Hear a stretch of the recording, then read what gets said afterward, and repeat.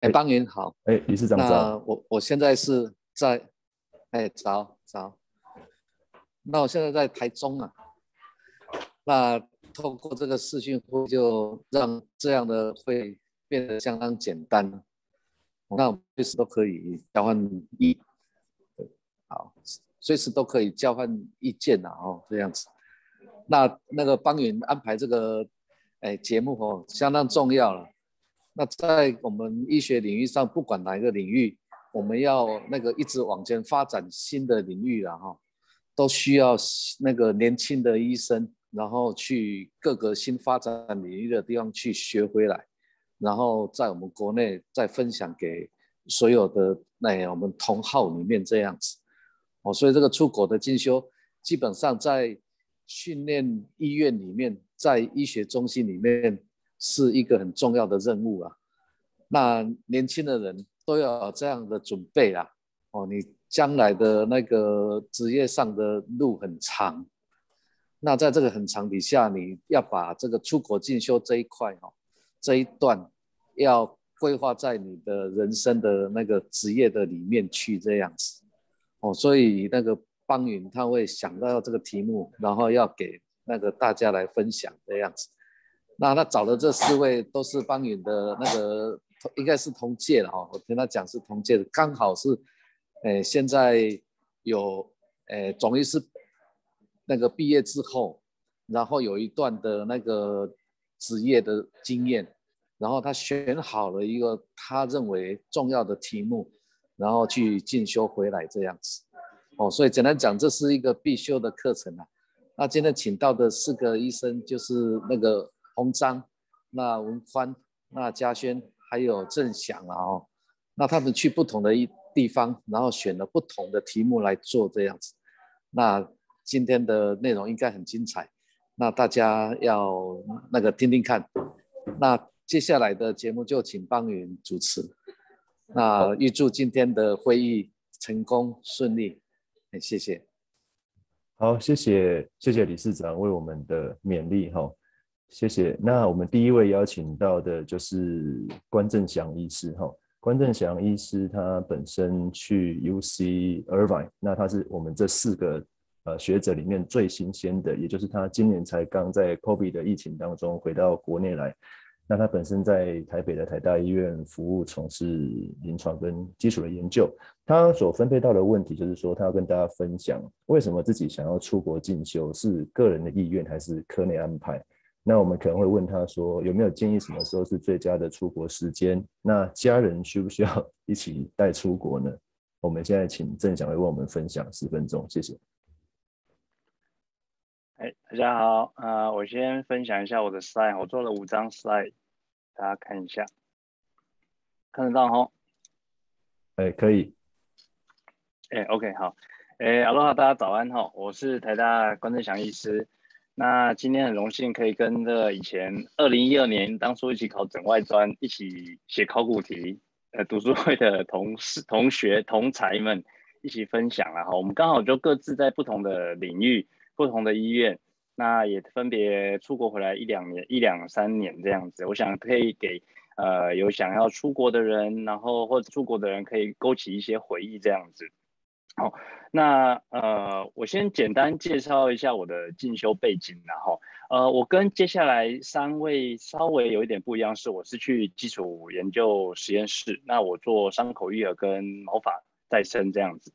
那在这两年之间，其实是脱离临床跟放下临床，然后那呃，我是去 U C Irvine，就是加州大学尔湾分校，我相信。呃，长庚的朋友们应该都不陌生，主要那边的呃 Greg Evans 啊，其实跟我们台湾非常的友好。那他两年前来台湾的时候跟我说，他来台湾好像已经三十几次了，对，二十几次还是三十几次。那我知道长庚他们也很有呃系统性的，每年都会送住院医师去那边两个礼拜到一个月之间。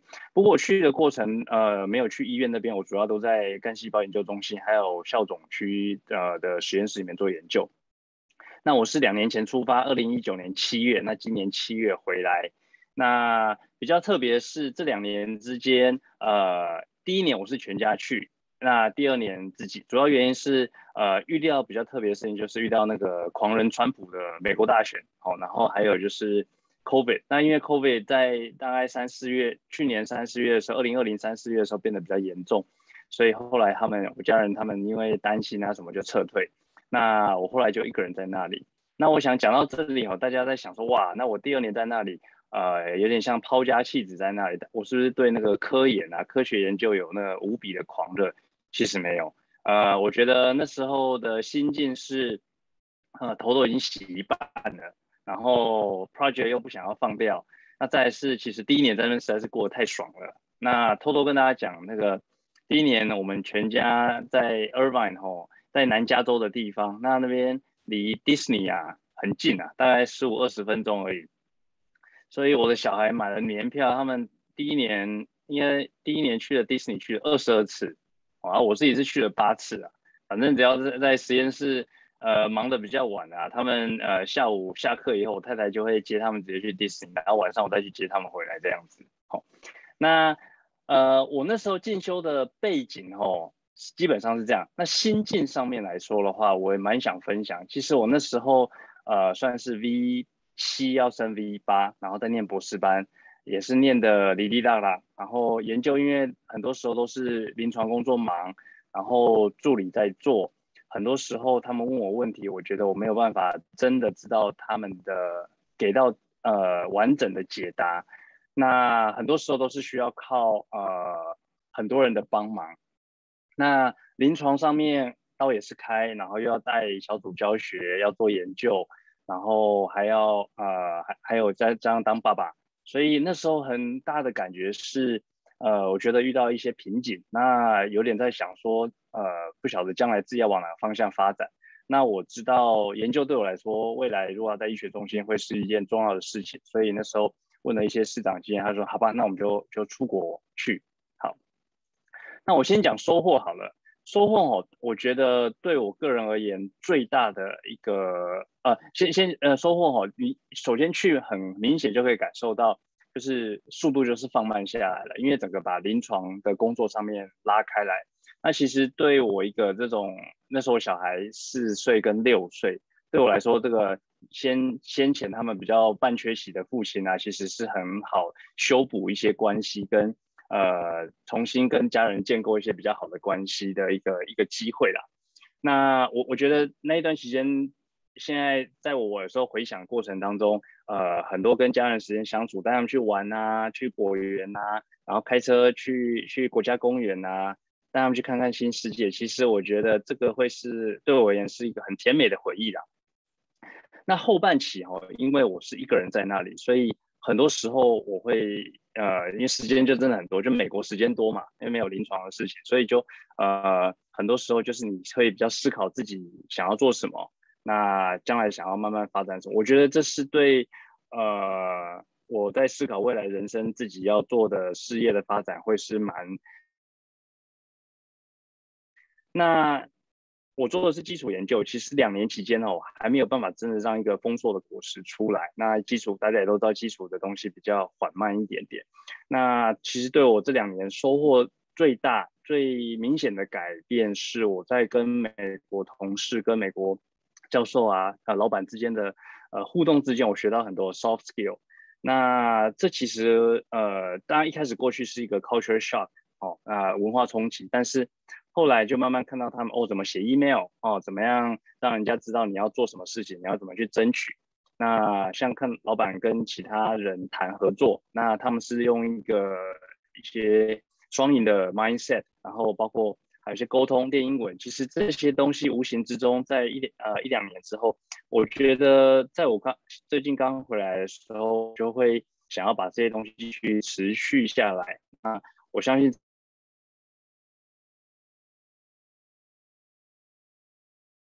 抛开临床，在学术界 academic 做，他也比较更知道，哎，原来 academic 呃 research time field 他们真的游戏规则大概是怎么样，呃 paper 怎么挂名，authorship 到底是怎么样，然后怎么样跟人家谈，然后 figure 你们要注意什么东西，然后细节在哪里？那我相信这个虽然才初学啦，但是我想这个对将来我的发展应该是有一些的帮助。好，那下一张，好，也不是呃，再来讲比较现实面呐，吼，出国的代价，吼，呃，不是说出国好棒棒，其实我是觉得要付出相当高的代价。首先是很烧钱，那烧钱是呃，虽然院都会有，我我们台大医院有补助，或者是现在科技部也有赞助的计呃的的的计划。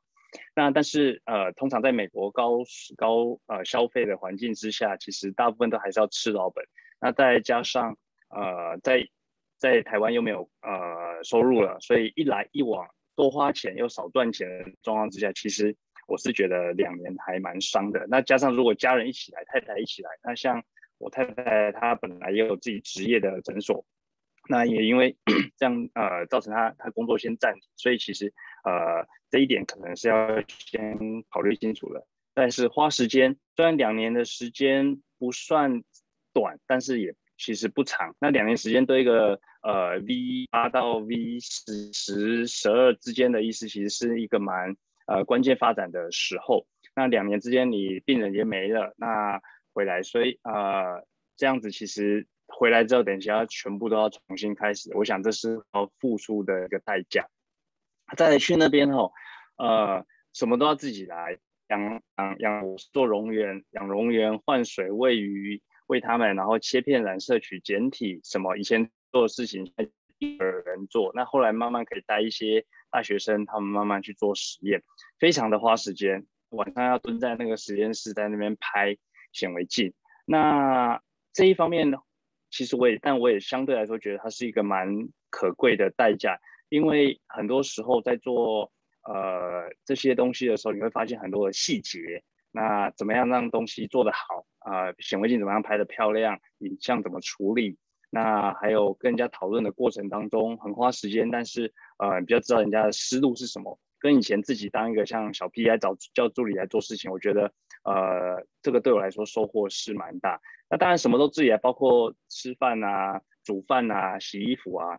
我其实是很不会煮饭的人，我只会把东西煮熟，但是不会调味，哦，只会呃加盐巴，哦，所以常常最后就是撒那种面条，然后去那个超市买肉片，因为肉片涮一涮就很好，然后买个青江菜煮一煮就轮不轮就过了一餐这样子。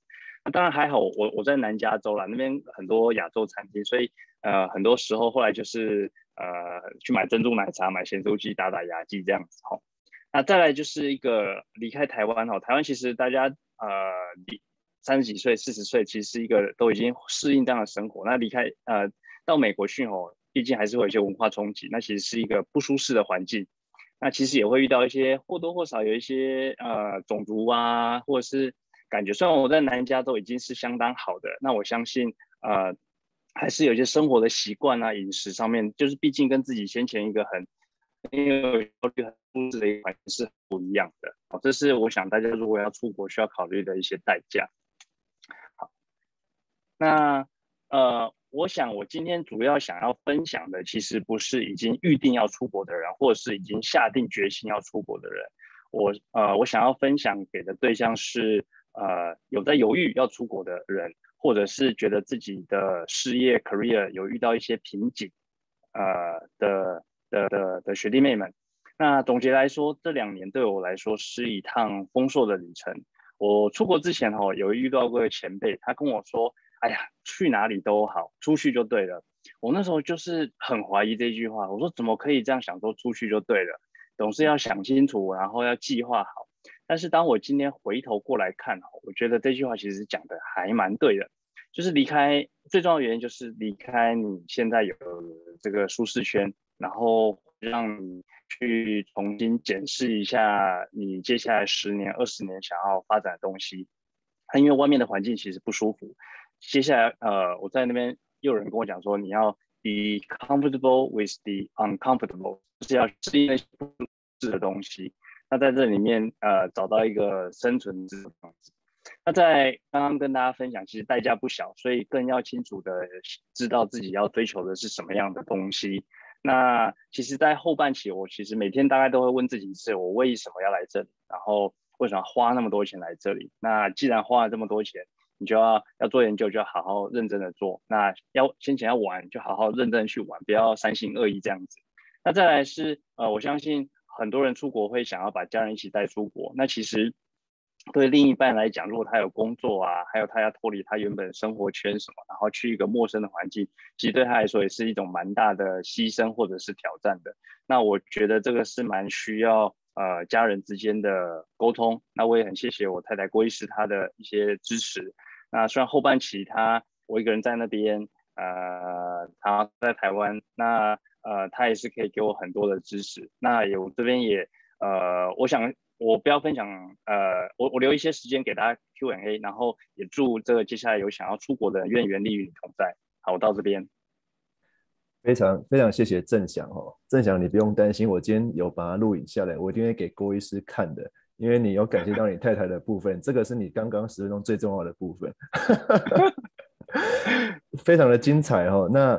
我们觉得时间还是很紧迫，等一下 Q A 一定会 Q 到你。我们紧接着就来欢迎我们的基隆长庚的蔡家轩主任哈。那我们今天的四位讲者呢，基本上有刻意安排哈，美西、美中跟美东各有一位，加上我们的蔡老师是从日本回国进修回来的。那不同的日本的环境会有不同的分享的学习模式。那我们就请问呃蔡主任。医院有怎么样的补助？跟你出国学成的内容，在你回国之后有没有发展的空间？那我们请蔡主任来帮我们来分享一下，谢谢。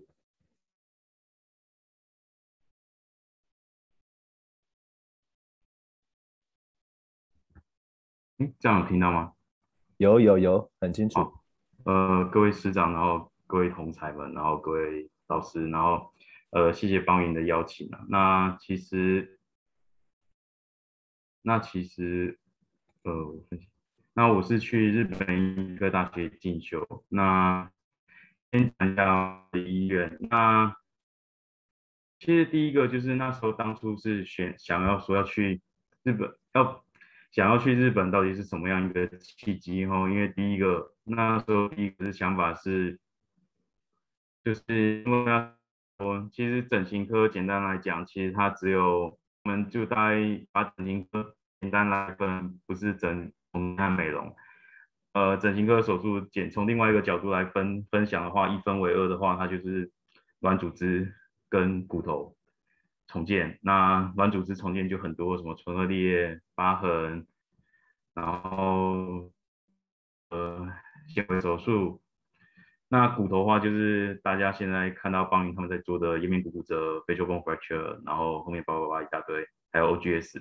那因为我本身非常不擅长做骨头的手术，那因为我那时候记得我帮陈院在开 facial bone 的时候，在扳他的那个 plate 的时候，我每次要扳应该要往下扳的，我都往上扳然后要往上的我都往下扳。然后陈月每次定的时候，他就说你怎么这样做？然后我后来就发现，其实自己开对于开飞修泵，还有开手指那些打钢钉啊、打钢板啊，实在是没什么概念。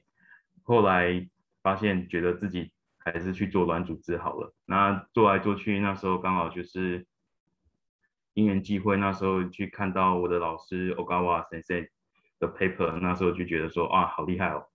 那是不是可以去日本找他学习？那其实。在我们科，其实要去日本学习是花了一个非常大的勇气，因为，因为在我之前，全部的人全部都是留美或者是留美加，不是去美国就去加拿大。那在我上一个去日本进修的学长就是陈润聪医师，然后他是跟阿嘎大学小我证，那所以，我前面都没有人可以去询问说，到底去日本到底要准备什么。那时候就傻傻的去了。那其实去日本那时候还发生一件笑话，就是我去日本的时候，我飞机落地的时候，因为我也没有想过去日本要不要办签证这个问题。那所以我日本一落地的时候，我就拿着我的那个就是日本医科大学给我的留校的那个就是就是通过了可以去当飞友的书，然后就去日本海关那边，结果就被海关拦下来了。然后就海关拦下来之后，他就把我叫到一个隔壁小房间。我想说，妈，我又不是中国人，我看起来像中国人吗？你怎么会把我留 留去一个小房间？那最后他们就跟我说，你怎么没有申请签证？然后我才知道说，啊，这个要签证啊。然后然后后来我就去，后来他们最后还是放我进去了。那时候就去拿了观光签证进去。那因为观光签只能待三个月，然后日本一个大学也很有趣，他们就跟我讲说，哦，你还是要回去办一个签证，要拿一个一年的长时间的签证，因为你才可以办日本的银行的账户，还有日本的那些的手机那些什么的才可以做。所以后来我又回台湾，然后又再买了一次来回机票，还好日本机票没有很贵，所以就去日本的在台协会，就在庆城街上面，然后就去办了签证，然后那时候才拿到一年前的签证，因为那时候觉得日本实在太方便了，觉得好像出国不用签证一样，所以那时候就没有想过这个问题。那我简单来讲，我我们日本医科大学大概是在。跟金神社的旁边，那其实他在这边往下去就是呃东京大学，那所以其实他们就在日本医科大学和东京大学就在隔壁。那东京大学是日本最老的公立医院，那日本医科大学是日本最老的私立医院，他们就在隔壁。那刚好我去的时候，他们刚好盖了一栋新的，这一栋是新的医院。那时候他们旧的医院已经拆掉了，就在旁边盖了一个新的医院。那主要的话，主要的话就回国就是要分享，就是第一个就是第一个就是呃有关经费的问题。那主要的经费就是长庚大概是补助一个人大概补助十万元，那那呃科还可以再帮你补助一个人两万块。那所以大概是十万加两万，那之后，因为他要扣一些所得税的税税额，然后再加上一些扣的东西，那最后实拿大概九万块。那其实九万块可能对于就是我的同才们，他们去美国的人，他们会觉得完了，只要出租金就不够了，因为他们通常住大概是两千美元到三千美元，所以可能九万块。生呃房租就全部付完了，那就生活费全部都要吃老本。那我刚好比较幸运，那因为我的老师就跟我说，哎，你要自己租房子也可以，或者是你要去住我们日本大学提供外国朋友的宿舍也可以。那我后来想想，那我就去住他们的宿舍。那其实宿舍非常的便宜，就是一个月大概是三万日币，那其实换算台币才八千一，那所以就九万块可以很好的。运用在十一生十一住行方面。那我们日本医科大学其实就在根津神社的旁边。那根津神社在日本最有名的就是杜鹃花季。那这是那时候拍的杜鹃花的花季的样子。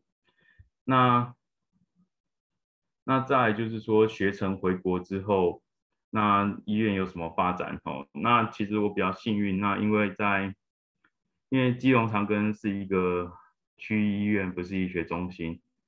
那因为我那时候去日本的时候，我老师 Real Gawa 他那时候就跟我讲说，哦，你要发展 Carry 这一块的话，你最重要、最重要、最重要的就是你要找一个跟你可以合作的 Radio Oncologist，就是你要找一个可以跟你合作的放射肿瘤科的医生。他说，因为你手术开完没有用，因为最后面还是要请人家。呃，帮你做术后的 radiotherapy。那其实我是非常的幸运。那基隆长庚其实是一个区医院，因为他们的我们的 radio oncologist 没有像林口长庚有很多很多癌症的病人需要做电疗。那所以他们都会，他们其实癌症病人没有那么多。那所以，那我的 radio oncologist 就是蔡杰生医师，他非常的 nice，啊，也对我非常好。那就是我跟他合作，就是。请他帮我做那个 radiotherapy，那所以他可以提供我一个很好的 backup，就是我手术完之后，他都可以及时的帮我做那个 radiotherapy，大概就是可以按照教科书上面说的，在二十四小时之内都可以做到呃放射线治疗。那那时候就非常非常的幸运，那所以之后就开始发展，就是血足肿还有一些疤痕相关的疾病。那现在就是来介绍，就是日本的春夏秋冬啊。那日本的夏天大概就是最有名的就是绣球花，大概是每年的六月，就是端午节前后这边附近。那其实最有名的神社也在东京，也在离我家不远，就是大概在白山神社这边。那其实那时候也这个也是去那边路过的时候拍的，就是很漂亮的绣球花。那再来就是因为日本医科大学就在东大的旁边，所以那时候就是比较心情不好的时候，因为我老师跟我说，我们日本医科大学就跟我的之前台湾念的大学，就是中山医学院医学大学差不多，就是没有自己的 campus，就是没有自己的校园。那日本医科大学也没有自己的校园，他们的校园就是跟精神社。那所以我老师就跟我说啊，没有校园没有关系啊，你有空可以去东大。就当做自己的校园这样逛，然后 我就因为我们跟东大实在是太近了，因为就只有隔一个 book，所以我常常走路走十分钟就可以走到东京大学。那这就是那时候去东大，那时候应该是秋天吧，他们最有名的银杏，还有还有他们的赤门，那时候拍的照。那那时候就是也是非常的开心啊，也那我们我家离六亿元也不近，也不远。大概走路走二十分钟也可以走走到，所以那时候在秋天的时候的晚上，我就去看了六亿元里面的枫红这样子。那当然在日本就是消费没有想象中那么高，那日本最贵的大概就是交通了。那所以在冬天的时候，那时候因为日本其实 他们的有很多那个，就是网络上有很多很多的那个。就是联航的机票，那时候非常的便宜。那时候在冬天的时候，有一天突然那个香草航空就寄了 email 来说，他们现在在机票在促销。那那时候促销的飞北海道来回机票只有一万日币，然后就想都不想直接订了，因为为什么？因为一万日币飞机票真的非常的便宜。可以跟大家报告，就是你从东京坐新干线坐到京都或是大阪。那个新干线的车票大概是一万五千日币一次哦，单程一趟一次就是一万五，来回是三万。所以你当你当我要 每次要思考说要不要去京都找朋友玩的时候，然后认真的思考一下，三万日币大概可以活，大概可以活在日本可以活十天，所以需不需要浪费去京都玩一下，然后坐新干线，就会很犹豫。那当所以那时候看到香草航空说。飞北海道札幌的机票只要一万日币的时候，马上立马就下定了。那时候就飞到了就是北海道，然后去看了北海道大学、北海道医院。那冬天也跑去 跑去草津温泉玩。那时候非常的不幸，那时候跑到草津温泉的时候，刚好是那时候刚好是台湾的过年，就是刚好是台湾的除夕，哎，初二还初三。那时候刚好是二月十四号，那时候想也没有想说二月十四号是什么日子，那就直接飞到跑到草津去玩。就去草津的时候，就去逛街的时候，还有去旅馆吃饭的时候，突然发现都是一对对情侣。然后那时候突然看到日子，发现是二月十四号，才恍然大悟说，赶那天是情人节。然后我想说，哎，早知道就不要出去了。对，那当然草津那时候在日本那时候也有很。那时候也有非常好玩的游戏叫旅行青蛙，那每天就是看着草金，然后去拜访他的那些的名胜。那其实是，其实在日本进修其实是非常的舒服啊。那其实出国进修其实是第一个就是开眼界，那就是说跟你的，就是你有不一样的 vision，因为你去看到了新的世界。那其实他们，我老师其实教我蛮多蛮多东西。那吴老师是日本，呃，最年轻的教授。那他那时候，他那时候我去的时候，他刚好拿到一笔日本一个很大的 grant。他跟我讲说，他大概拿到四百万美金，然后五年的研究计划。那所以他就跟我说，嗯，钱很多，不知道怎么花，也是一个，也是一个很困扰的事情。然后他那时候也教我很多东西，就是说你其实也要出国看看，然后出国去进修。那其实一开始去去出国进修的时候，其实前半年是比较痛苦的，因为前半年是呃必须要接受文化的冲击，然后你会觉得有点格格不入。但是后半年当你跟他们交成好朋友的时候，就会觉得非常的开心，然后就觉得时间过太快了。那其实，在就是出国进修，主要是增进你的眼界啊，那也是交到很多很多外国的朋友。因为我的老师他是比较 open 的，因为相对于全部的日本人来说，他们都会觉得就是不太愿意让其他外国 fellow 进来交流。那我的老师是比较，他是因为他是去美国。那个 Brigham Women Hospital 那边进修，跟 Dennis Ogius 学习，那所以他本来作风就比较洋派，所以他几乎日本医科大学所有的外国 fellow 都会来找他，所以他的他的 fellow 有很多，就是有像是这是大陆的同学，然后我是台湾，然后这是埃及的同学，然后这是越南的同学，所以我们几乎就是也是像一个联合联合国一样，那所以也是就是学习到蛮多东西，然后也是交了很多朋友。那其实还是，假如现在还在犹豫的学弟妹，其实也是可以跟大家分享，就是说，其实出国就对了。那只是先想想说，看看你想要选什么。那每个人，我大概是花主治医师前面五年的时间，大概在找说到底要做什么。那花了五年的时间之后，才觉得说，哎，好像可以做做疤痕这一块。那就是做这一块之后。才想说去找老师，那时候也有想过要去大陆，还是要去日本，或者是去美国。后来发现疤痕这个疾病其实是黄种人或者是黑人有的疾病，那一定那后来就不考虑美国，所以就考虑了日本。那以上是大概就是我的报告，那谢谢大家。非常谢谢蔡主任的分享哈。那其实就。前面的郑祥跟嘉轩大概都是秉持的正向的出国就对了的这样的一个的概念哈，那也也恭喜嘉轩今年获得科技部哈在疤痕这一块的多年期的研究计划哈，这确实是在国外学习在国内呃丰硕成果的一个最好的表现。那待会一样有蔡主任的 Q&A，我们接下来把我们的地点呢要从日本飞到芝加哥去了哈。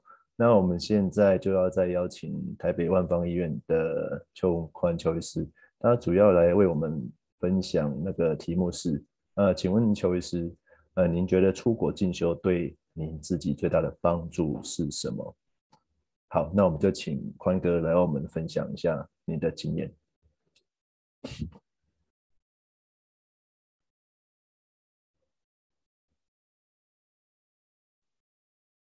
来，哎。宽哥听得到吗？哦，这样听到了。好，那你来分享你的画面。看一下。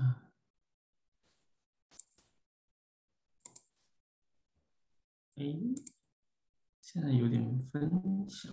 好。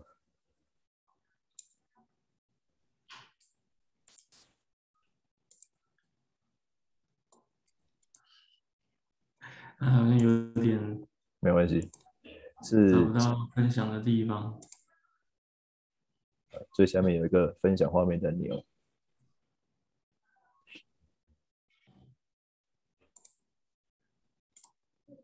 嗯，等我一下。好，这样看到吗？可以，可以。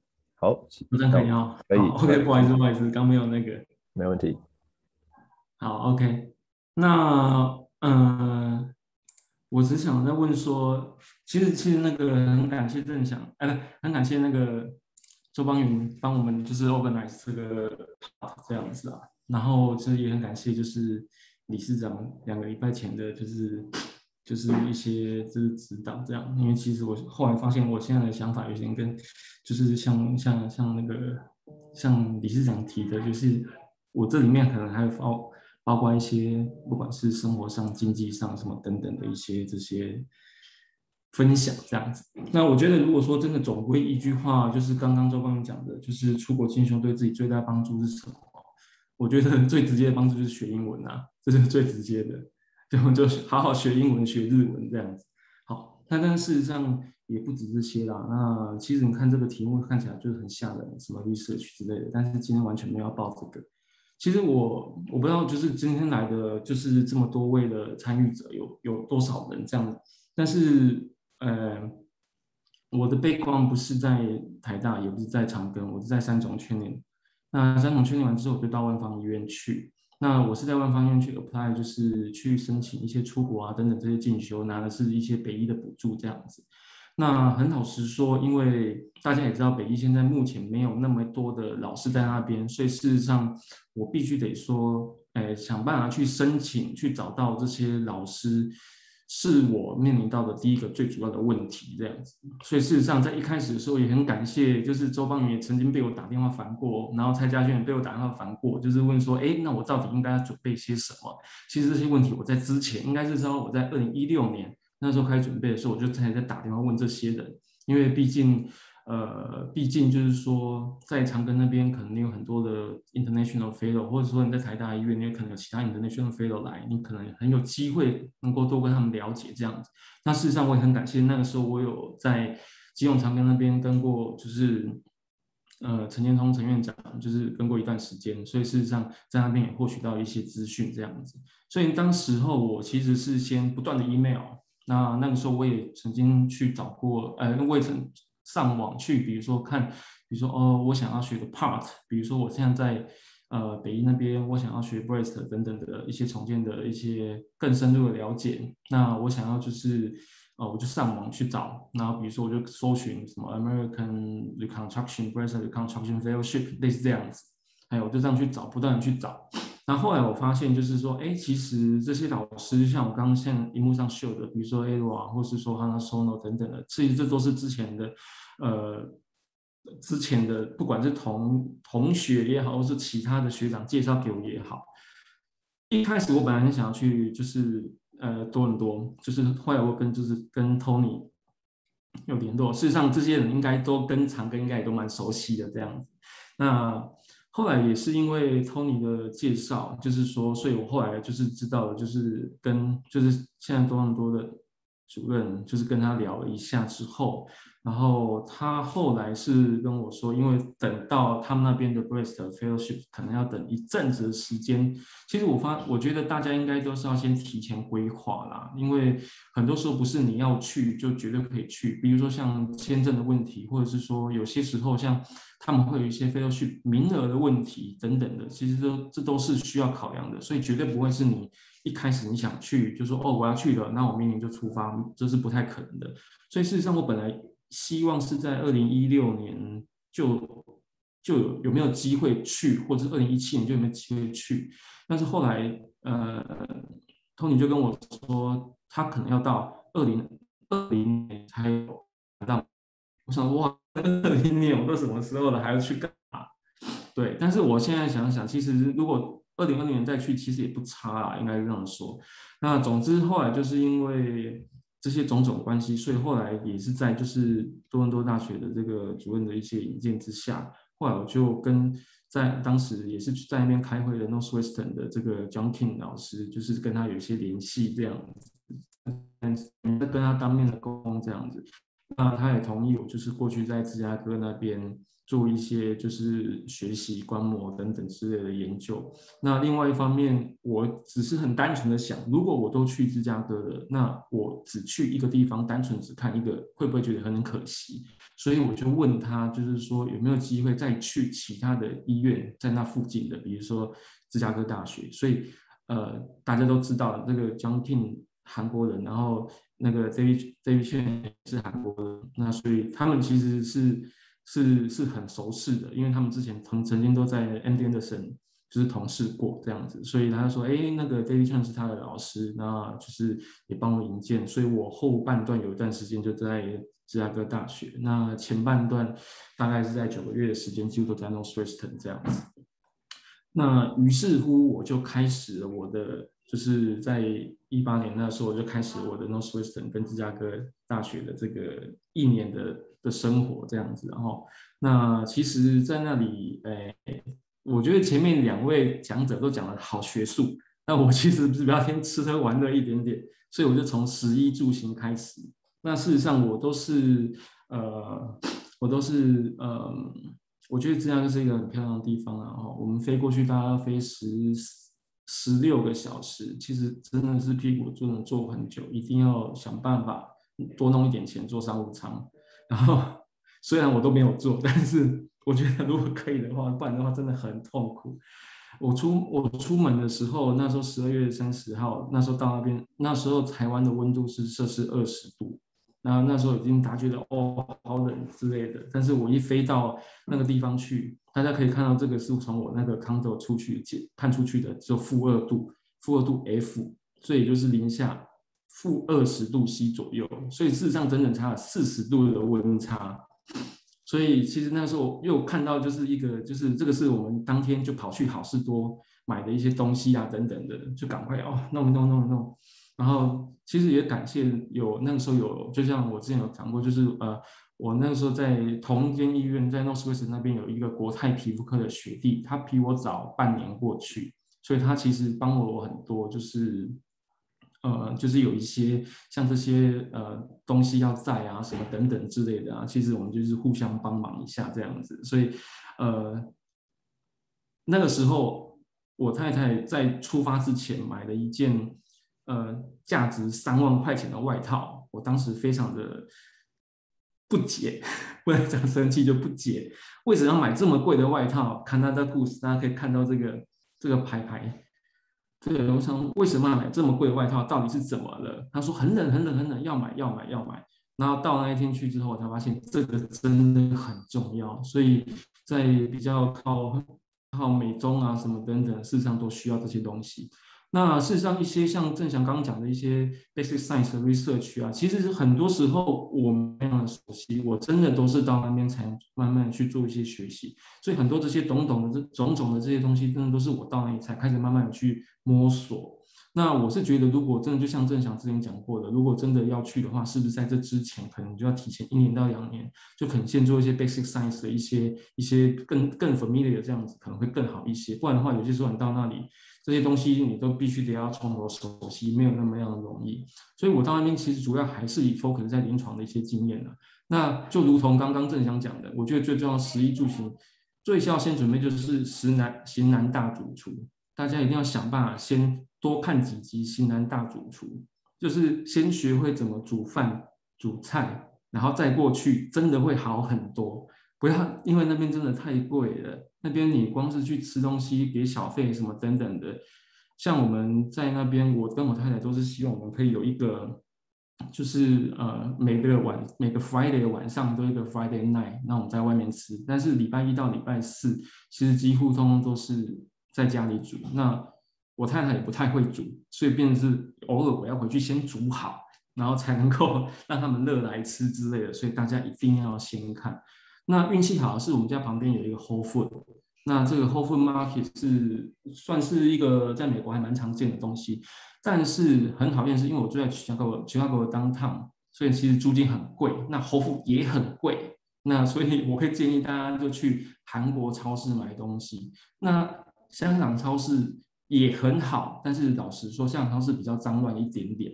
那如果可以的话，我会建议大家可以就是去韩国超市买东西，这也是我后来最常去买东西的地方。那当然，那这个 Outlet 也是我们常去买东西的地方。那我觉得，呃，像一开始我们去如果去玩啊什么，我们都想要去 Outlet 买东西啊等等。但是我老实说，后来我们也都不去那里了，我们就跑去这个所谓的 Last Chance，它其实是一个就是好像捡便宜的地方。那后来我也在那边买了十双皮鞋回来。为什么？因为一双皮鞋也才美金十块钱，那台币三百块一双皮鞋，我买了十双回来。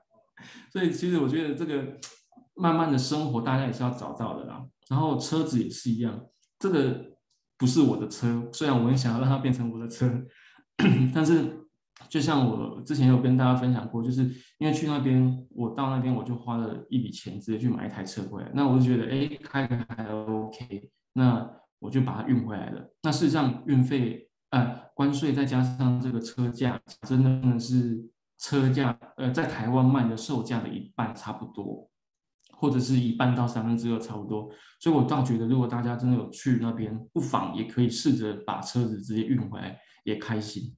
那另外的话，这个这个门票应该是我跟蔡亚轩去看过的吧？对，应该是，就是那个时候就是来开会什么之类的，然后记得大家一定要出去看棒球也好，然后带小朋友去，然后看篮球也好。你看我都坐这么高，坐远一点都没有关系，有去就好。然后就是大家去就觉得 很开心，就是觉得享受一下。所以那个时候我们常去假日的时候，有些时候会去这一周，去那一周，就是去看看棒球，看看篮球，其实这样是蛮开心的这样子。好，那芝加哥的的下雪啊，那个叫什么麦当劳啊，事实上也都是也是很常去的地方，这都是芝加哥的一些景色啦。那我觉得到时候大家应该会慢慢的融入，就是所谓的那个。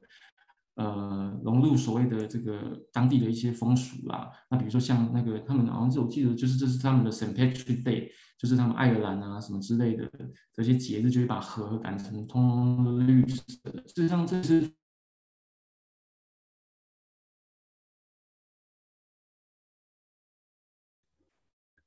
宽哥不见了。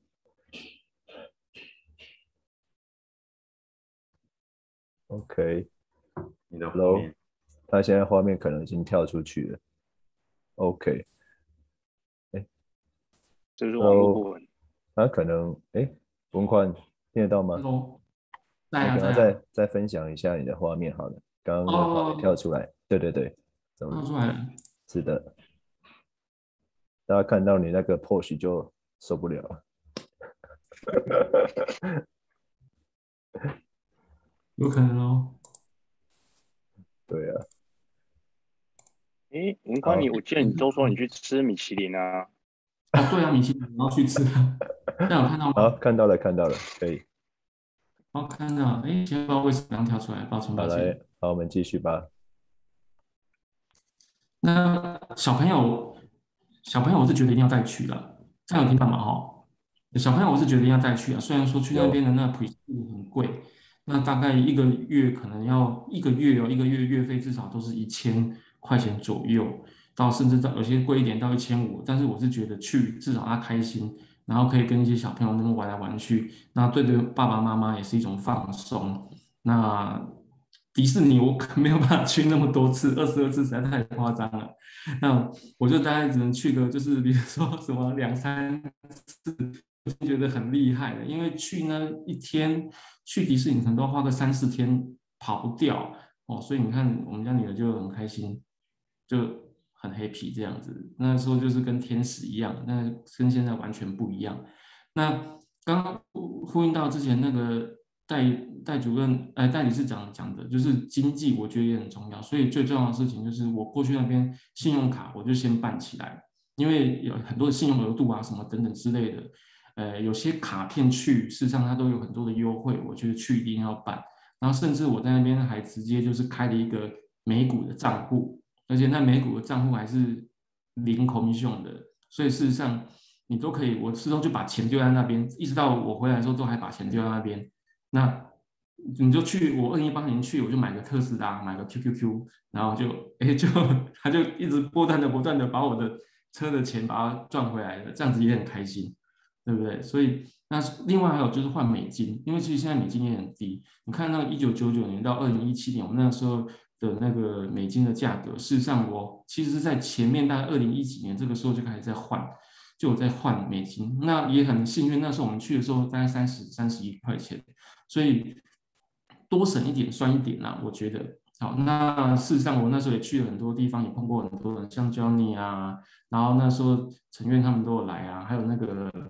之后都有来开会啊，等等之类的，然后大家一起吃吃饭啊，我觉得这是很开心的。那开会总是会碰到 Coleman 啊，什么等等之类这些的。好，那所以事实上，哎，对，还有一些女生。然后再来就是说，我们也会在那个时候，我们会去南美洲玩，因为美国嘛，离南美洲很近，我们就是花一段时间去南美洲，去秘鲁玩这样子。好，那我想再也不会有人跑去秘鲁这么遥远的地方，还跑去就是我们那时候去那个。去那山上实在是太遥远了，我觉得现在不会再去了这样子，因为年纪也慢慢变得比较大了。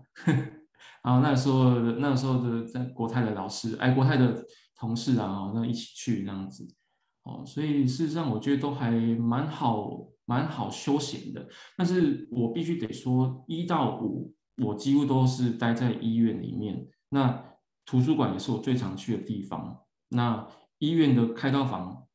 医院开房是最最常去的，然后第二常去就是图书馆，然后再来才是六日的安排。那图书馆去，因为那个有很多老师也在看，所以我也还是要学术一点点。就是除了吃喝玩乐以外，就是我们还是有努力的在那边用读书进修，不是拿钱去玩的。那所以接下来才是我要报的，就是 research 才是最重要的。就是我在这一年虽然没有很努力，哎，虽然没有很多，但是至少我有很努力的去想办法写一些 paper。这也是那个时候的那一段时间，总共有七篇相关的一些文章在那时候产出。那也很开心，就是至少我们有至少有有两篇的 PIS，然后有一篇是第一作者，就觉得哇，就觉得很开心。我觉得这样就够了。那比起很多的，比起应该应该是说，我们在我不是在台大，也不是在三总，哎，也不是在长庚。那呃，我这样子慢慢能够有这些的 publish 出来，我觉得是很开心的，因为可能没有办法像在长庚啊，在台大有这么多的资源这样子。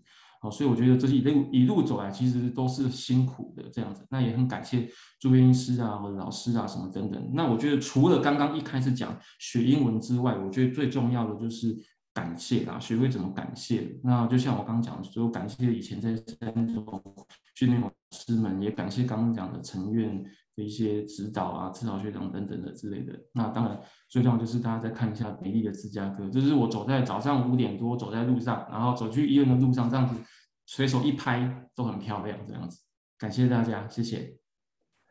哇，谢谢谢谢宽哥，我觉得听你报，你根本就是人生胜利组哦。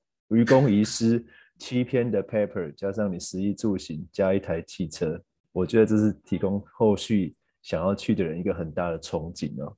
真的非常感谢你的、你的、你的分享。好，那我们一样事不宜迟，大家如果有任何问题哈，可以在聊天室里面留下来，然后提供给等一下红章报告完之后，我们可以来针对特定的讲者来做询问。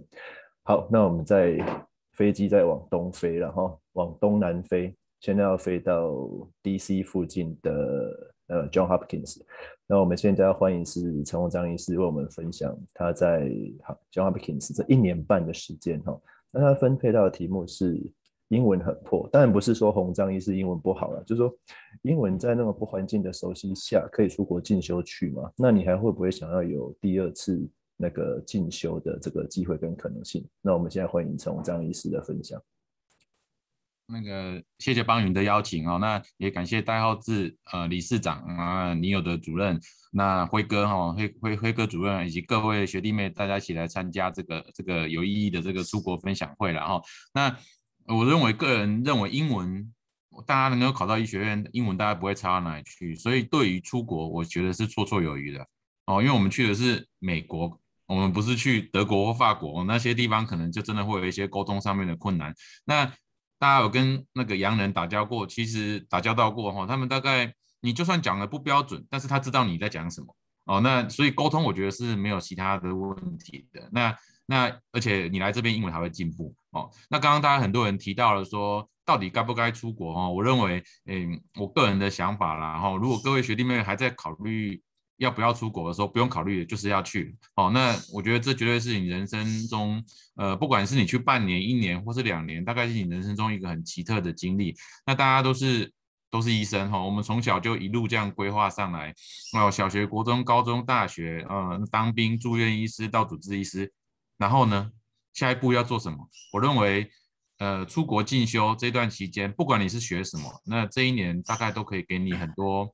静下心来想一下，你下一步要做什么啊？当然，如果你在出国前就已经想好了你要做什么研究，哇，那真的是太棒了。那如果没有，我认为也没关系。你找到一个地方到国外去，你就开始学啊。就像刚刚有一些呃，像邱医师啊，或者是关医师哦，也许也许本来对 Web Lab 哦，就实验室里面不是很了解，但是你去了，你你一定有你一定有收获哦。那你一定有学到东西。那我当初。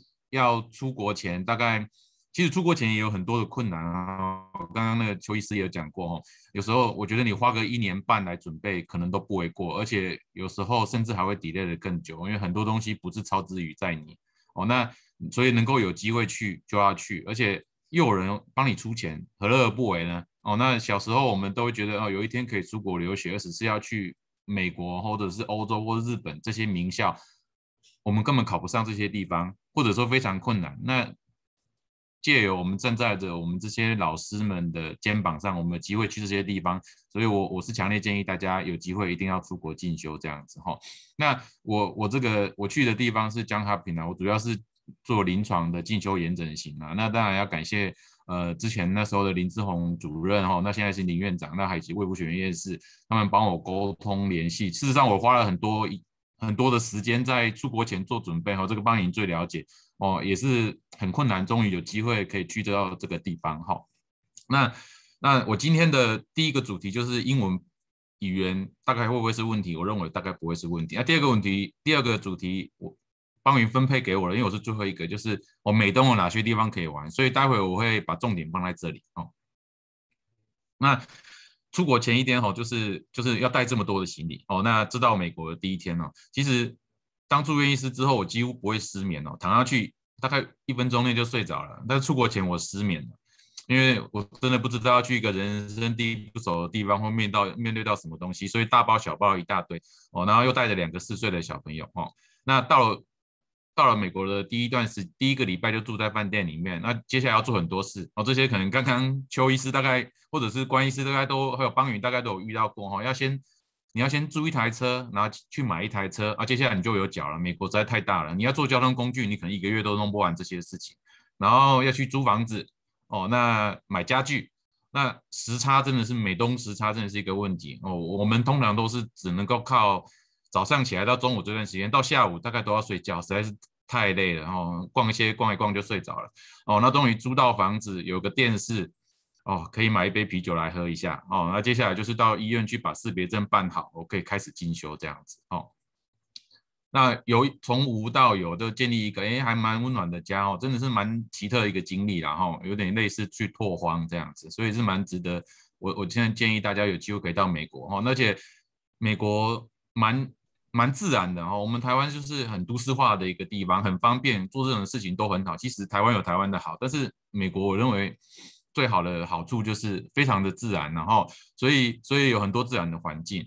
那那这个是呃，我医院里面的最左边就是我老师，然后他本身是眼科医师，然后训练完之后又去当整形外科医师。那那时候他是眼整形科的主任哦。那这是跟我同期的呃的 fellow，然后那这个是这个是比较年轻的主治医师的。那我跟年轻人就比较有东西可以聊聊这样。啊，这是我太太的老师，也是个眼科医师。然后其实就我就每天跟跟刀，然后发问问题、念书啊，其实。其实一年半很快就过去了，然后，那刚提到吼，美国最好的就是自然环境哦，这是我的社区啦，我的社区一走出来就这样哦，更不用去花园，不用去太远的地方，就太漂亮了，空气很好，环境很好，就就是很引就一个地方哦，所以我本来其实是申请一年的，后来后来想要申请两年，但是钱没有，就申请半年，所以变一年半了哈，那。我到底我学了什么？因为我的主题是去哪里玩，所以我把这个字弄得很小，大家不用仔细看。哦，这是我们我的社区的花园哦，春天很漂亮哦，那樱花很漂亮哦。那我在美国做了什么研究？哦，那哦，该提醒各位学弟妹，出国玩很好，但是你出国的时候，因为老师们都还是盯着，所以你该参加的医学会、该学的东西、该交的报告哦，包括像邱邱医师讲，你该写的论文，你这些都要写好。那你回来。终究要面对考验哦，那那那那今今天的重点不在这里哈，我会说这些东西做完之后，你爱怎么玩，大概不会有人去管你哈。那这是我我家客厅的春夏秋冬了哦，那那我我学的主要是眼整形，当然我回国希望说我能够给我的每个病人都有一个漂亮的的双眼皮啊，漂亮的眼袋啊，漂亮的眼睛这样子哈。好。那个学术的部分讲完了，接下来要讲要去哪里玩，这是邦云交给我最大的任务哈。美东有哪些地方可以玩哦？那这个是美国大地图啦。说实在，一年半我去了好多地方哈。那不管是开车或干嘛的哈，那其实美东的这些大城市，我大概会稍微讲一下。这些大城市大概大家都会去的哈。哦，那像我一开始去就先去迈阿密，主要去参加烧伤医学会哈。那迈阿密最值得去的，我强烈推荐坐他们这种船哈。然后就去找着找那个鳄鱼哦，那超刺激的啊！那沙滩当然就是要去看一下哈。那我去 Houston 找找那个邦云啊，因为那时候魏医师刚好去那里做客座教授啊，就 NASA 哦，NASA 也是蛮值得一去的地方。然后包括他们登月小艇以及当初登月的那个控制中心都蛮值得去的哈。那匹兹堡，匹兹堡诶也也是蛮值得去，那边有一个很有特色的这个建筑哦，叫 Falling Water 哦，是一个很有名的。的那个那个建建筑师设计的，然后那匹兹堡也可以去哈。那美国还有很多很有趣的的农场，大家比较有的农场就是采采这个什么樱桃啊，采采那个草莓啊，采采这个苹果。很多农场其实是你可以开车进去，里面有动物的哦。那那你就看哦，那动物还可以伸进来你的车子里面喂饲料哦，这小朋友超开心的哈。那那还有可以很多地方都可以这样直接喂这种，嗯，我们他台湾可能很难都摸到这种长颈鹿哈，就是蛮好玩的哦，真的是小朋友的天堂。那华盛顿也是一定要去的，离我们大概一个半小时的车程，然后那华盛顿要去白宫，然后啊还有华盛顿的樱花季也是非常的重要哈。那华盛顿有很多的的这个呃 museum 哦，各式各样 museum，最重要是免费哦，那也很适合小朋友哦。那所以华盛顿也是必美东必去的景点哈。那波士顿也是，因为有哈佛哦，然后又有又有 MIT 哦，那波士顿也是一个龙虾之城，然后那。所以波士顿也是一个蛮值得去的地方。那纽约更不用讲了，我大家一定会去的哈，就是大城市哈。那这些呃自由女神啊，然后，美纽约的当趟啊，中央公园呐，哈，这些大概都一定会去的哈。那芝加哥，我那时候也有跑去芝加哥，从我们呃巴尔的摩开去芝加哥，直接开可能。大概十个小时就开得到了啦，但是太累了，我们大概中间会停个几站，然后才到芝加哥去。然后，那我那时候去的时候刚好是夏天，哦，那芝加哥真的也是蛮蛮不错的一个地方，一个大城市。哦，那加接下来我要讲的是，我认为你去美东，因为那些城市大概你都都一定会去到，那我会觉得，嗯，强烈推荐的哈，那个加拿大哈，大概一定要去。哦，那我们从巴尔的摩，大概我们就沿路沿着这个。尼加拉瓜大瀑布，然后沿着那个多伦多，呃，奥渥太华，然后蒙 Montreal，然后一直到魁北克，然后再从 Boston 在纽约这样开回来。哦，哎，因为有主任在这里，我必须强调，这是在美国的假日的时候去的啊，不是不是说我请假出去玩哈。那那加拿大真的是非常的漂亮哈，那那沿途的风景都很很棒哈，那那蛮值得这样子的一个。那那时候顺便去多伦多找那个卢廷成学姐哈。那尼加拉瀑布世界七大奇景之一，哈，真的是蛮值得一去的，哈。在美国跟在加拿大看过去的那个风景都不太一样，那甚至还可以坐这个船，哦，去靠近这些瀑布，都还蛮，真的是蛮令人难忘的这些回忆，哈。那另外一个很特很特别的就是那时候我们有到迈阿密去那个迪士尼，哈。刚关于是说那个呃 L A 的迪士尼，L A 的迪士尼真的蛮好玩的，哦，那就是一个迪士尼 land，那。那是在呃 Orlando 那边有一个 Disney World 哦，Disney World 的意思就是大概有五个跟 Disneyland 一样大的地方一起合在那里哦。那那时候想说要怎么去哦？那我我因为我太太本身是一个很爱玩的人，然后坐飞机去她觉得太无聊，所以她后来就找到哦这个火车，我们就把车我们自己的车开进去火车里面，然后就坐的这个火车，然后这个火车就是里面可以吃饭，然后白天的时候就长这样，然后晚上就变成卧铺。然后还可以洗澡，然后这个叫 Auto Train，非常强烈建议，如果去美东的人一定要去坐一趟这个火车。哦，那就从大概 DC 的南边的一个小城市，一坐坐坐坐坐坐到 Disneyland，这样还蛮好玩的哦。那到了 Disney World 之后，，Disney World 就分几个哦，它主要是这个大家很常见的，就是 Disneyland 哦，在很多地方都有。然后它还有 Epoch 哦，那还有 Animal Kingdom 哦，然后它还有这个呃 Universal Studio 哦，那。我觉得真的是一个小朋友的天堂了，因为说实在，我们大概都三十几岁的人，可是你到了迪士尼 World、迪士尼 Land 或迪士尼 World 这些地方，你真的觉得迪士尼真的是一个蛮好的一个世界级的公司，它很多东西都做得非常有细节。如果你去美国的大城市，你会发现他们其实，呃，除了学术之外，很多东西其实美国人都蛮 rough 的哈。但是这个有玩的这些地方哈，真的是细节真的做得很好哈。那包括我们只要每个人都戴这个手环，不管吃喝玩乐排队，全部都靠这个手环就好了。真的，它真的弄得很便利，很适合。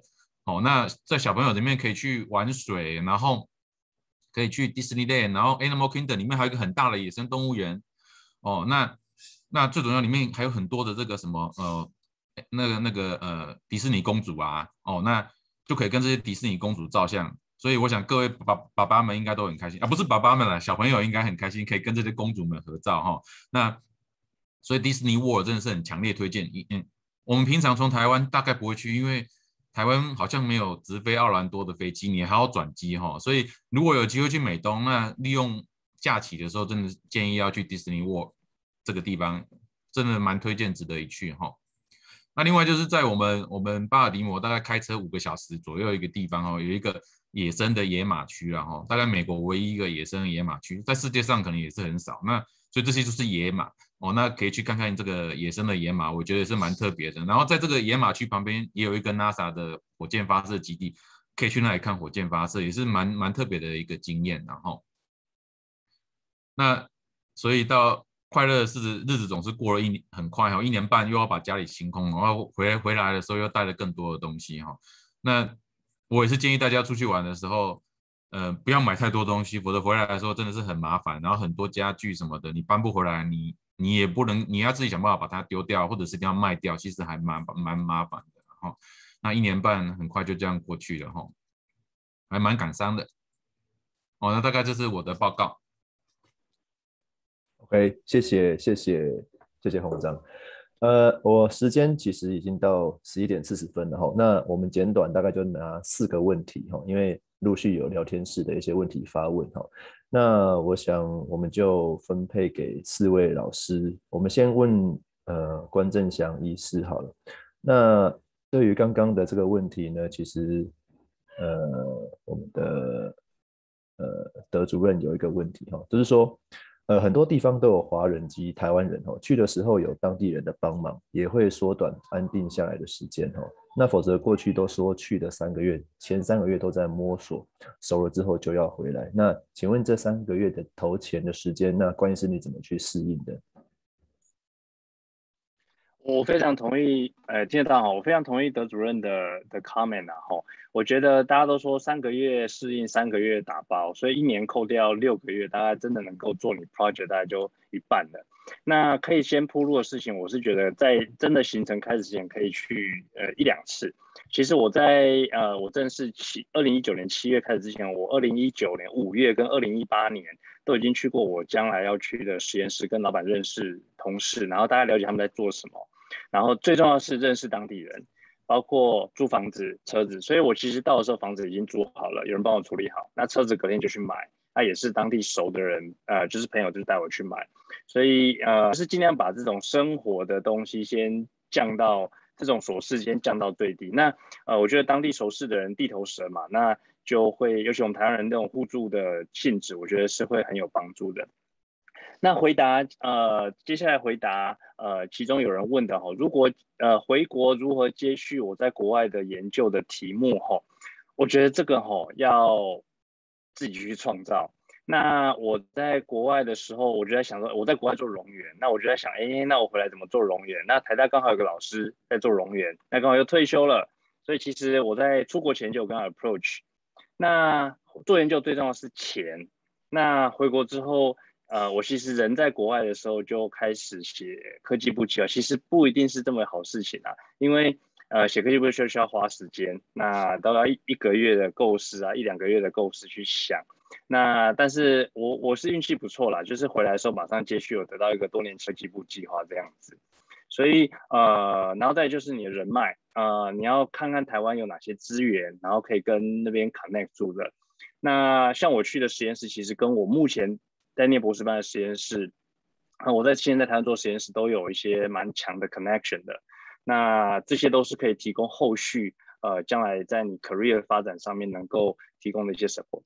以上，嗯，非常谢谢郑翔的回答哈。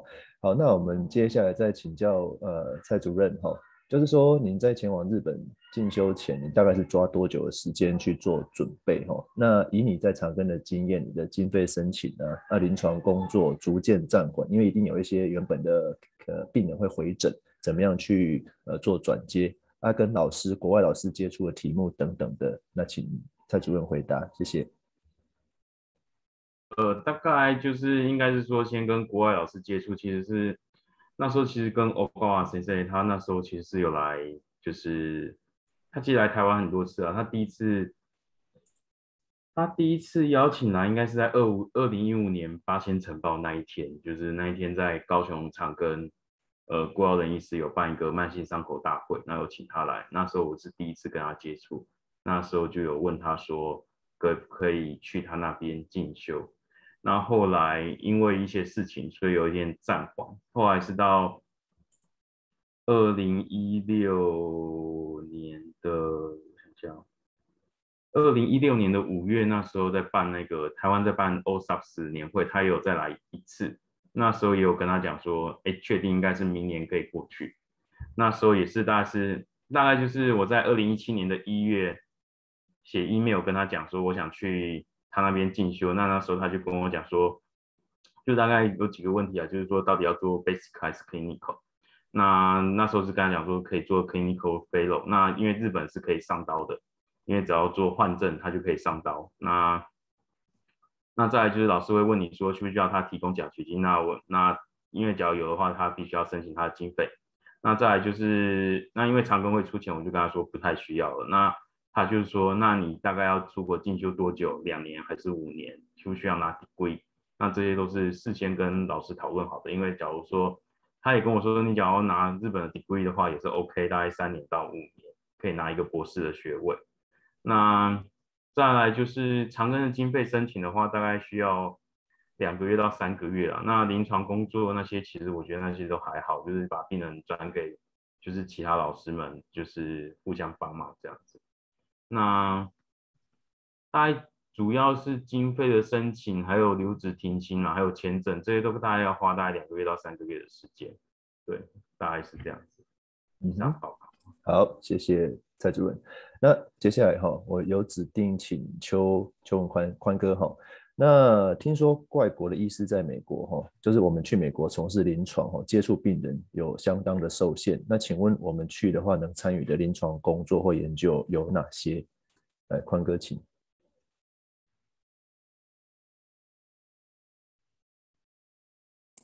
OK，这样听得到啊？可以，可以。那。呃，我觉得呃，外国医师的确在美国的部分的确是非常非常受限的，这是其一。但是我觉得要自己想办法。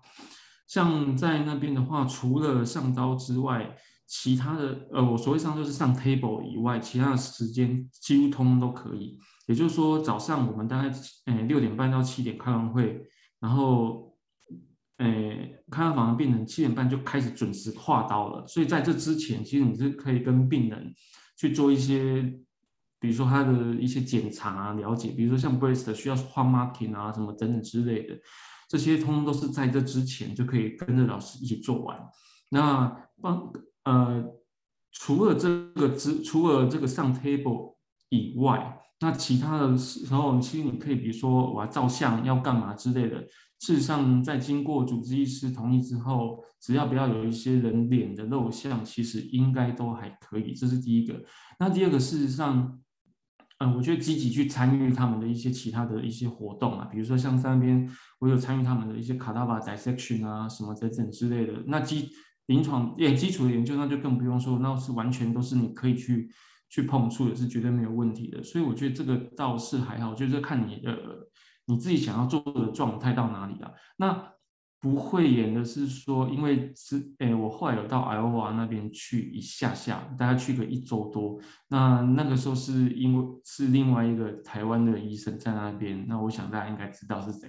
那他有让我就是真的就是就是 squat 这样子。那所以那个时候我有 squat 上去。那除了这个之外，那真的在我在 Chicago 那边的确是没有 squat 上去的。那但是我觉得积，如果你可以更积极一点的去跟病人 approach 啊，跟老师 approach 啊，其实我觉得应该都还好，应该都还好。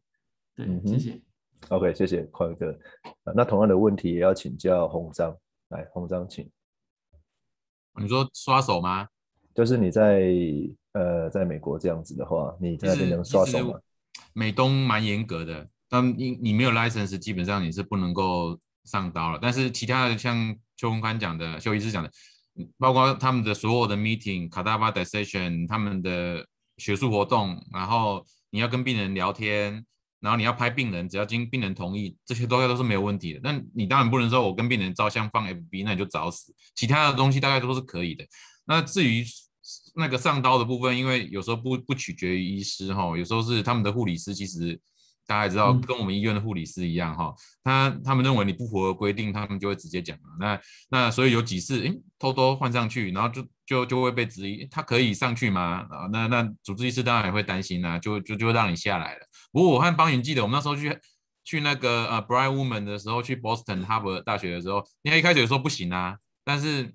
那后来有一个，我记得那是一个很很胖的病人，有需要我们两个，我们两个还是刷上去了。哦，那另外就是呃，长庚比较跟 UC Urban 蛮好的，我们那时候在 UC Urban 其实可以刷手的，因为 Gray Evans 对我们蛮友善的哈。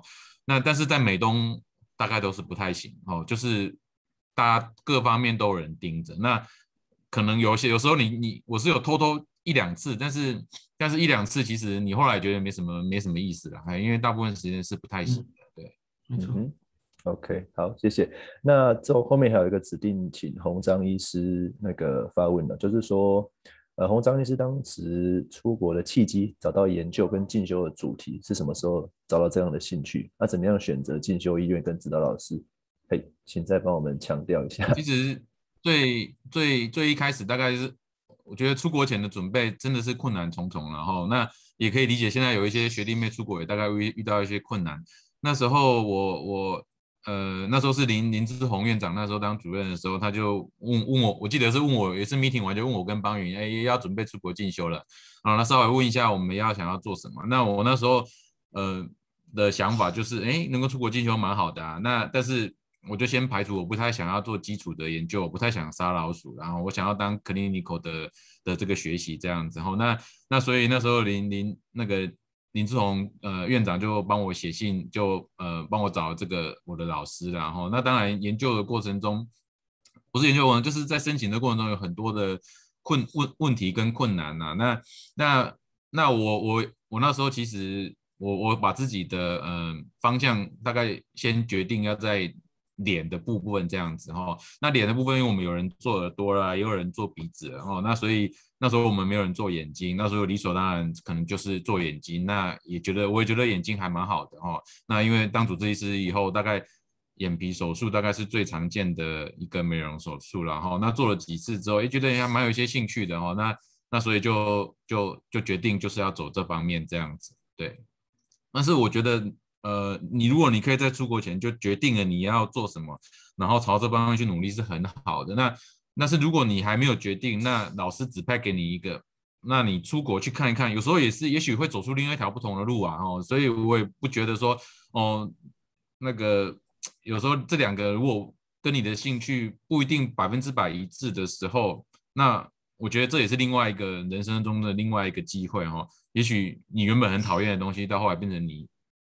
你是生命中最重要的这个东西，这个都很难说。那但是重点，我认为这个出国的经验真的是蛮值得的，哈，大概是这样。谢谢谢谢洪章，好吧，那我们的回答 Q&A 大概到这边。我们最后也希望我们的理事长，哈，那刚刚陪大家我们一起听了四位那个出国学者分享这么多经验之后，我们给请理事长帮我们做一个 closing 的 remark。来，那戴理事长，请，谢谢。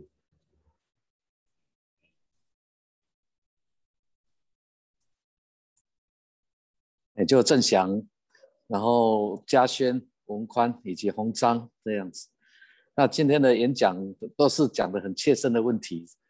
那简单讲哈，我们对于年轻的医师的要求，就是你要在比较长远的规划里面呢，我们不管是留在医学中心，或者是将来有其他的那个规划，还是要出国去进修啦。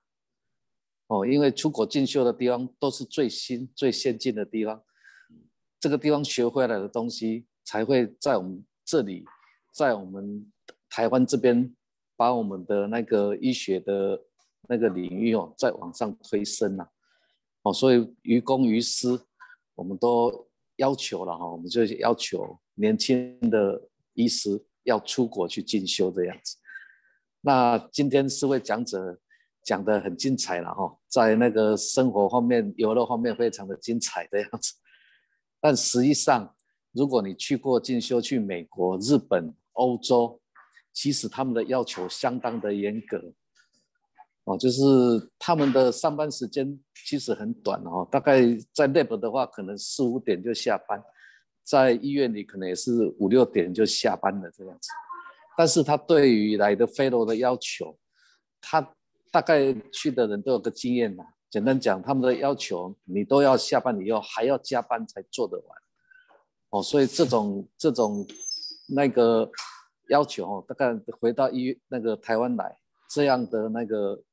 诶，训练过程对我们是帮助非常的大了哦。这样子，我简单讲，虽然听起来很轻松，实际上他们所经历的哈，你看他写那么多 paper，好做那么多实验，跟那么多刀，哦，这过程其实是很严格了哈。这样子，那最后就是说，我们既然要鼓励那个年轻的医师要出国进修，我们还是要提供他资源呐。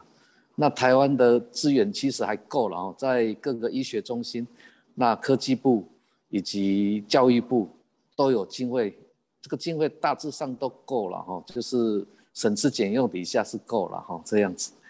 那这个资源之外，就是我们台湾这边的老师们，他们很多都已经是进修回来了，所以我们跟国外的交流的管道现在是非常畅通了。哦，所以你不用担心说找不到那个去进修的地方。那在学会这边，我们的理监师们那个沟通相当的顺畅。哦，所以只要你们选定一个地方，然后寻求那个老师们的意见，那也可以到学会这边来，我们那个请哎不同领域的专家哦帮你规划或者帮你做咨询的哈，将来你要去哪里提供意见这样子。哦，那简单的讲，最后的结论就是要进修。那寻求资源的时候，各个医学中心，然后学会这边都要提供许诶协助。以上。好，谢谢理事长对我们做最后的一个勉励，然后好，那最后我要也要跟大家讲一下，谢谢今天四位讲者哦这么精彩的演讲。那我再。echo 一下理事长哈，大家分享很多鱼师生活上的一些开心的地方，难免是要让大家对国外游学的一个憧憬，但也不要漏掉一两张很重要的 slide paper 的 publish 不少。那大家很会玩之余，其实都还是有不错的 publication 的哈。那今天我们当然只有分享一部分是在。Center base 出国进修的经验，如果有机会的话，我们同届的还有很多是出国学习 cosmetic aesthetics 回来之后，也在我们现在的业界，就是我们的市场上非常活跃的一些同学在，有机会也可以在之后再开办这样的 topic 哈。那我们今天的观众好多好多都是也有出国经验的学长姐，他们都潜水在下面，其实他们都有在听，然后他们其实也有很多的经验。听完之后，他们应该也有很多的回忆，所以谢谢大家今天的陪伴，以及四位老师、代理市长跟我们在一起一个半小时的时间，非常感谢大家。那如果还有新的 topic 的话，我再跟大家做分享。OK，好，那谢谢各位了。好，谢谢，谢谢。好，拜拜，拜拜，拜拜。你不知道大合照吗？哦，好，照个合照。好，那我们照个合照。如果还在，照个合照。那我们请大家还在的话，我们就把我们的那个，请将你的那个视讯打开好了，好不好？欢迎大家，欢迎大家。哎，OK，好，那我们就请大家哦，还有还有，陆续陆续还在开当中哈。来，请大家好，OK，好，谢谢谢谢。还有吗？还有吗？再等候一下，好看可不可以凑到一整面都是有人头的。好，那我们就可以直接来照相了哈。来，我们数到三哈。来，一、二、三。好，谢谢。OK，这样可以了。谢谢，谢谢，谢谢各位。拜拜。好，谢谢，拜拜。拜拜。谢谢李市长。拜拜。谢谢主任。拜拜。